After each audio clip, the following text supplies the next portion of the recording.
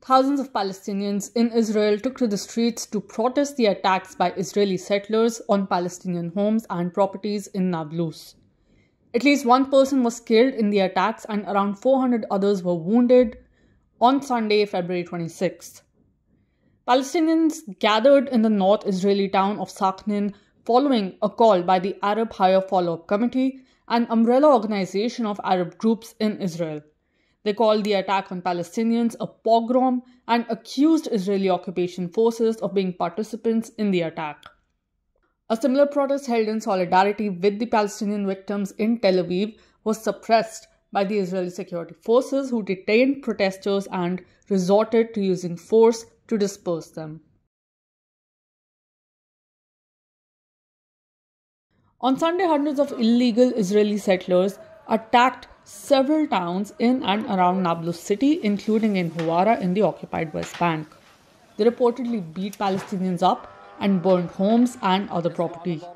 Despite being present in large numbers, Israeli security forces did not try to stop the violence. Nablus, in this moment, uh, it is yani, lived through the most difficult moments because of the violence of the occupation in Nablus. The people in Palestine, exactly Nablus, the most in the Nablus, there are all the all the many day they uh, يعني, uh, entered Nablus to kill the people. Uh, the situation of uh, Nablus is very difficult about no the occupation killed the people, destroy the house, and uh, many many people in the prison. All every day coming in the night to take uh, man or woman from Nablus to the prison.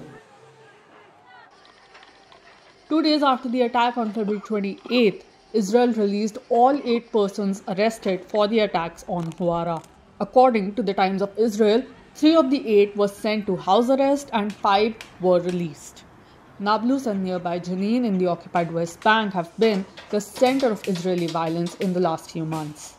On February 22nd, Israeli occupation forces killed at least 11 Palestinians and injured over 100 in Nablus city in a daytime raid. On Wednesday, February 22nd, a special unit from the Israeli army raided the town of Nablus in the northern occupied Palestinian West Bank and they killed 11 Palestinians and wounded 102 more. The Israelis say we had to do what we did because we were going after two wanted Palestinians in reference to Palestinian freedom fighters in the town. But if the Israeli logic was correct, and they needed to kill, supposedly with no due process, of course, these two wanted Palestinians, why kill the nine others? They included two uh, elder gentlemen and a child. And why wounding 102 more? Included many people who are of old age, children, and women. More than 65 Palestinians, including 13 children, have been killed by Israeli forces in the first 59 days of this year in the occupied West Bank and East Jerusalem. Palestinians have also stated that settler violence has not ended after the incidents in Huwara, with reports of fresh attacks on Tuesday as well. In a special closed door meeting of the UN Security Council on Tuesday, member countries called for immediate de escalation of the situation in the occupied West Bank. This has been the third such meeting since Prime Minister Benjamin Netanyahu's ultra right wing government came to power in Israel in November last year. This is presented in mainstream media as if it is an isolated incident. Israel, of course, is always giving the space to clarify and explain its logic, and Palestinians are either completely absent from the picture or are allowed very small spaces to express their views on the issue. Why is this the case? Why the Israeli escalation?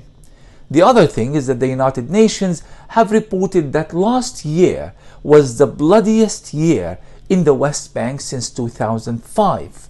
that was the end of the second Palestinian uprising or intifada. Now, of course, Palestinians in Gaza retaliated to the Israeli massacre in Nablus, firing few rockets to, uh, towards Israel that did not really lead to any damage of property, and of course, no wounded or dead Israelis were reported as a result.